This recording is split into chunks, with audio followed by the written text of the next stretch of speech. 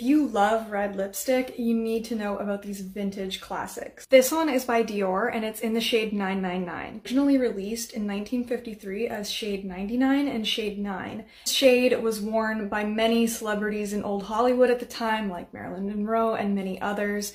It's just a very classic, true Fire Truck Red. The other one is Red Insolence 320 by Guerlain. It was originally released, I believe, sometimes in the 50s or before then, but it was under the name um, Diabolique. And it was in a gold tube, I believe. And it's not available anymore, but it was one of Marilyn Monroe's favorite red lipsticks. So they re-released it under the Guerlain Kiss Kiss lipstick line under Red Insolence 320. This one is much different than the other one as it is more of a sheer and shimmery red.